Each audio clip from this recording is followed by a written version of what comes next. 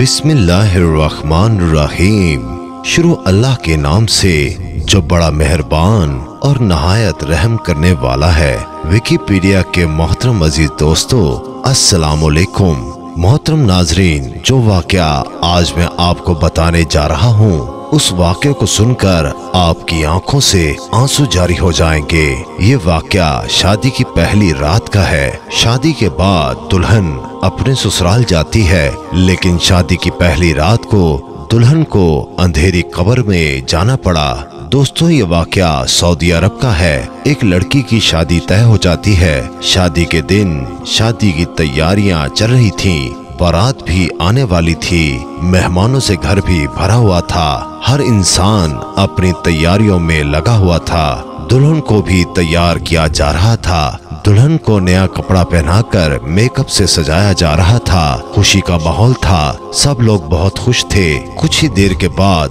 जोहर की अजान हुई। दुल्हन ने अजान की आवाज़ सुनते ही दिल में यह ख्याल किया कि अजान हो रही है। मैं सबसे पहले वज़ू करके नमाज़ पढ़ लेती हूँ। वज़ू करने जा ही रही थी। इतने में लड़की की माँ आई और बोली, बेटी, कहाँ जा रही हो? लड़की ने कहा, अम्मी जान, अजान हो रही है।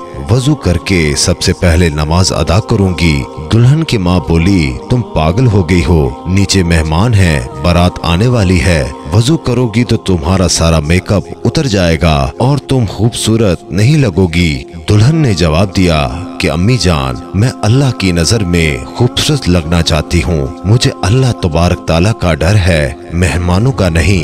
ये कहकर वो वज़ू करने चली गई और नमाज़ के लिए नियत बाँध ली। जैसे ही वो लड़की सजदे में गई, फिर वो सजदे से उठ ना सकी। यानी कि सजदे ही की हालत में लड़की का इंतकाल हो गया। अल्लाह अकबर, मौत तो सबको आनी है, मगर इतनी खूबसूरत मौत किस्मत वालों को नसीब होती है। दुल्हन जब काफ़ी देर तक नीचे नहीं आई तो उसकी माँ लड़की को देखने के लिए कमरे में गई। तो क्या देखा कि लड़की सजदे में है और उस हालत में उसका इंतकाल हो चुका है। खुशी का माहौल मातम में बदल गया। जिन लोगों के चेहरे पर खुशी थी, उनके चेहरे उदास हो गए। ये देखकर लड़की की माँ ने रोते हुए कहा, तुम सही कहती थी कि डर अल्लाह ताला का होना चाहिए। दुनिया का नहीं, ये वीडियो खासकर उन लड़कियों के लिए है जो जरा जरा मेकअप की वजह से वज़ू नहीं करती। ये सोचकर हमारा मेकअप खराब न हो जाए और नमाजों को कजा करती हैं। दोस्तों, मौत कभी भी आ सकती है। ये मत सोचो कि जब बुढ़ापा आएगा, तब हमारी मौत होगी। मौत कभी भी आ सकती है और हमें अपने आलीशान घर को छोड़कर अंधेरी कब्र में सोना है और अल्लाह की बारगाह में अपने कर्मों का हिसाब देना है। लिहाजा अपने गुनाहों से तोबा करें, ताकि आपकी दुनिया और आखरत दोनों सवर जाए। आमीन, सुम आमीन।